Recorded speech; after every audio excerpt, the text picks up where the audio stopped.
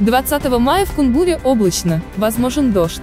Температура воздуха от 8 до 14 градусов тепла. Атмосферное давление 741 мм ртутного столба. Ветер восточный 3 метра в секунду.